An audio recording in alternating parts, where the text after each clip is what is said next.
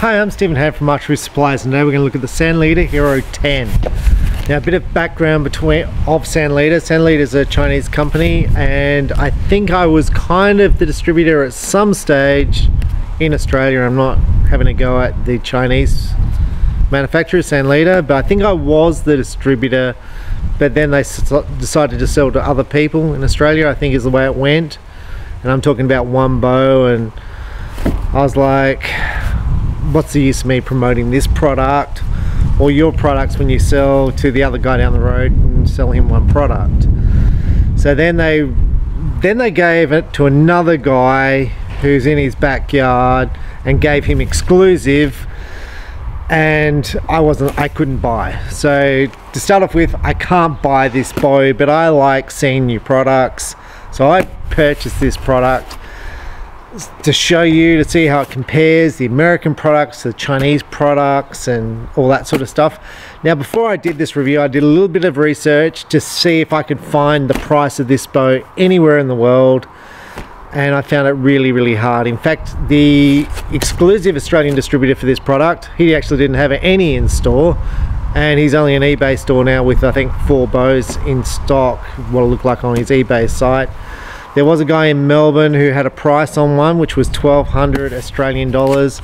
I couldn't find any of these bows in around the world so I couldn't find any in America. Now maybe I didn't look enough but I couldn't find any. I did contact Sanlida I didn't get a response um, to my questions about the price or what it sells for so because I think it's important to know the price of a product before you have it. But anyway this is what it looks like the box.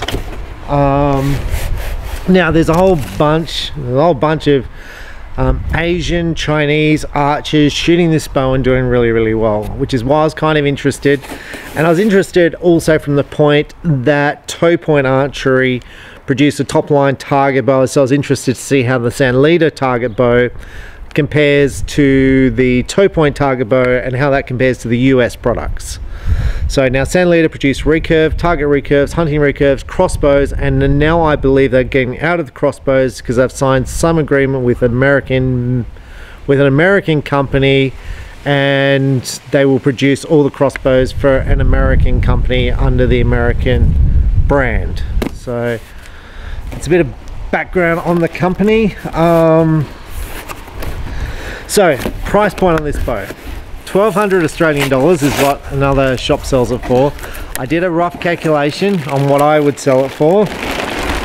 Um, now, it comes in a whole heap of colours.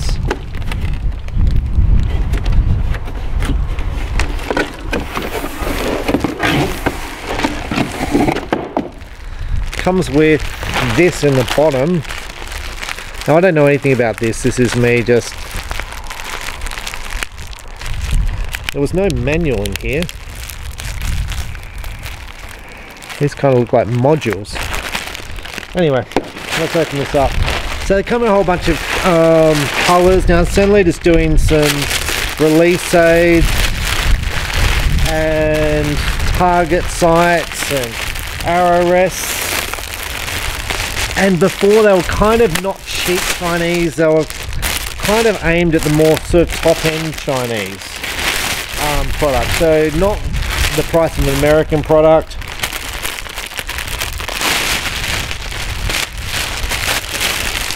Hmm. So here's the bow. Now these limbs look like the American limbs. Um, they look like an American glass limb. These limb pockets are metal that's just gone over my neighbour's fence which has been unfortunate um, the machine riser looks nice. This uh, finish here looks very much like the Topoints. you can see it's a shoot through riser. The grip feels nice at the back here. It feels feels very much like a PSE feels a bit narrower than a PSE so maybe it feels more like the Hoyt Invicta um, the grip. It has two lower stabilizer points here which is quite nice. The machining the edge on here feels quite sharp and I think it should have been rounded dampeners here these dampeners are very much like the Mathews, but they instead of having a weight in the middle it's fully rubber um, the wheels this is a hybrid um, cam system very much like your Hoyt So you've got a yoke at the top and a one cam down the bottom. Now you've got a limb, uh, sorry, cable stop here. This is very much like your Hoyt. Um, and it detaches very much like your Hoyt. Draw length is adjustable. Ah. Sorry, I'm like, I'm working out how this bow works. So you've got a rotating kind of, no you don't, you don't have a rotating module. I thought you did. What you've got is you've got a replaceable module. So this module detaches.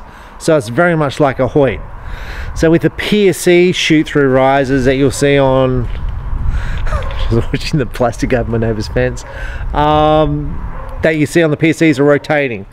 This is very much like the Hoyt um, Invicta um, where the know, Hoyt Prevail where you just put the module on that you want. Um, now you don't need a bow press to do that. You can see it's just two module screws there.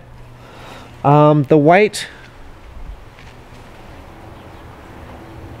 the bow's a little bit the graphics look really nice on the Sanlida Hero on the limbs. Look to me it's a nice looking bow. Um, let's just try the draw cycle. It comes in 40 50 60 maybe even 70 pounds and a whole bunch of colors um, different draw lengths.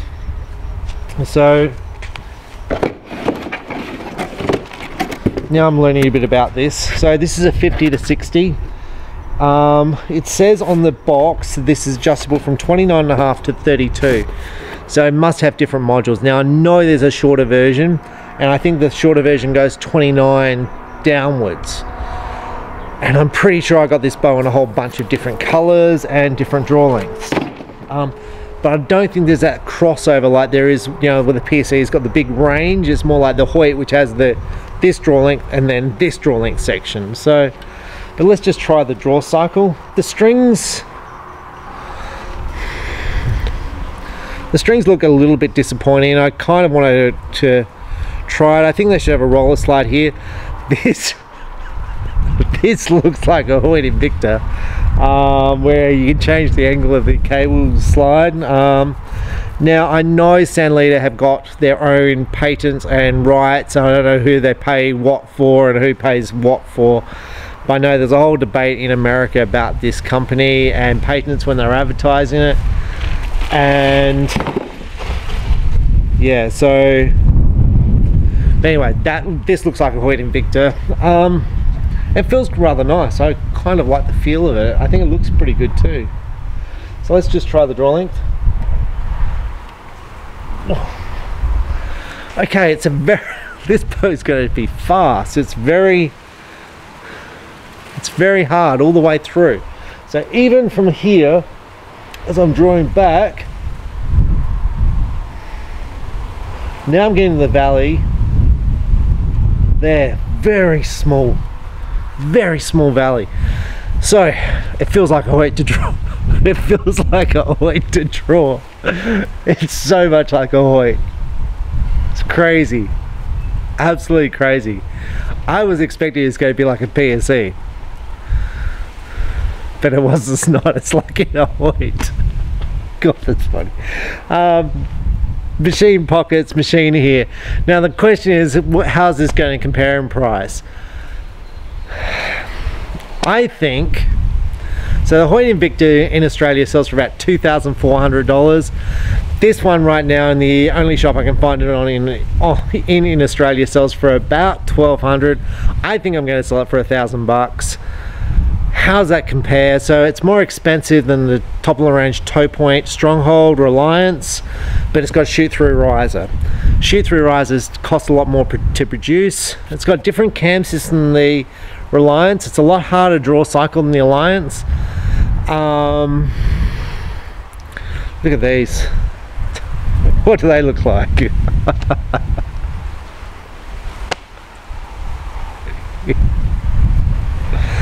Uh, yeah, anyway. Um, these are nice here. This is what limb bolt goes into, but it'd be nice. I bet under this sticker here, you'll be able to see how much limb bolt you've got left. I'd like to see that exposed, although it looks nicer like this. Um, the colors that Sanlida come in are really nice. So this is really aimed at the price point in the market at $1,000 that's about a thousand dollars. Now in Europe and all that where you're going to see these bows and maybe in America if US shops are going to stock them I don't know if US shops will stock them. I don't know if Donald Trump stopped all imports of Chinese bows into America. I don't know. But these are going to be really price comparable. Like they're going to be like do I spend two and a half thousand or do I spend a thousand dollars on this? Two allen keys here to bolt this um, onto the bow. That's impressive. Um, what do these cams look like? They're all metal. Um, they have roller bearings which is the same as everyone else. Look it's string stop here. String stop here. Now what I find interesting about this is the Americans often, often on their bows they'll have rubber and you'll see Bowmar produce these and they just make them out of full steel and make them bigger. Where it appears to me like Sanlida have done this straight out the box um, to give that nice solid draw cycle. Um, I don't know if you like this finish which is you know it's kind of rough here but it's definitely a texture style. And I know Sanlida Sanlida I know Topoint gave it this finish also on their bows overall I think it's a stunning looking bow for a thousand dollars. I think Sanlida, Sanlida multiple sight positions. Only one one hole on the riser should be two Sanlida when you produce it. And I know your boss doesn't speak English. Um, now what's also interesting on the Sanlida these bushings look really nice. Um, look you've got one here and one here. This must be for string stops but you haven't included them. That's interesting that you haven't because that would deaden the feel of the bow and make it better when you're comparing the American product to the Chinese product. So I'm pretty sure that's what that hole is and this is what this hole is here for string stops. But you haven't included it which I find very interesting. There might there'll be a reason for that I don't know what it is but I'm this is very good um, I'm going to do a review on one of these bows and we're going to open up the rest of them to show you what they look like in another video. Um, oh look, I like the way they've machined out this here. This looks nice. Overall, I think Sanlida, I was selling Sanlida about 10 years ago before we had the divorce. Um, they've come a long way I think and I think that you know the recurves looking really good um, the accessories are starting to look really good and they've really moved from that budget Chinese producer to really a high quality product. So when I see Chinese shooting this bow this is the first one I've ever touched and felt. When I see the Chinese shooting big scores with these bows and I look at the bow I'm like no wonder. It is so comparable to the Invicta. Oh Hoyt would be just oh wow. I was wondering about these patents and all that like I don't know what the deal is with the patents. I don't know what the deal is with importing these into America. But boy, they would be comparable. I think without having shooting this bow, this would be such a comparable bow to shoot. I'm Stephen Ham from Archery Supplies. Um, enjoy your Christmas and have a great 2021. Thanks for watching. Bye.